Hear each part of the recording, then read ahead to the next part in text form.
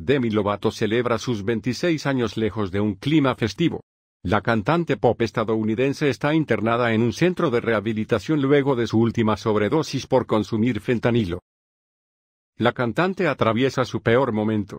Su recaída en las drogas y el alcohol son los motivos por los cuales este nuevo aniversario no puede celebrarlo con un gran fiesta rodeada de amigos. Sin embargo, haberse salvado por muy poco debe significar mucho más en este día.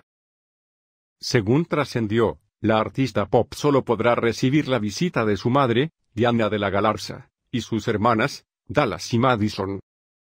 Hace poco, Lobato escribió un comunicado en sus redes sociales tras estar varios días internada en un hospital de Los Ángeles, siempre fui transparente sobre la adicción que tengo.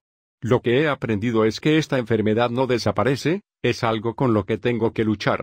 Es algo que debo continuar superando y aún no lo he hecho.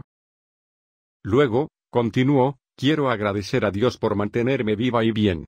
A mis fans, a quienes les estaré eternamente agradecida por todo el amor y el apoyo durante estos días. Sus pensamientos positivos y plegarias me ayudaron a pasar este tiempo difícil.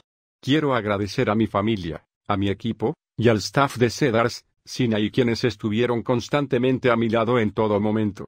Sin ellos, no estaría escribiendo esta carta para todos ustedes. Ahora necesito tiempo para sanarme y enfocarme en mi sobriedad y en mi recuperación. El amor que me han mostrado jamás será olvidado. Continuaré luchando. Esta es la segunda vez que se encuentra internada teniendo en cuenta que en 2010, con apenas 17 años, decidió abandonar la gira con los Jonas Brothers y el elenco de Camp Rock para tratar su adicción.